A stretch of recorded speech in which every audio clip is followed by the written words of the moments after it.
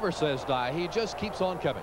And who would have believed six months ago, nine months ago, a year ago that Jerry the King Lawler would be contending now with flamboyant Eric Embry for this undisputed heavyweight title? And here we are.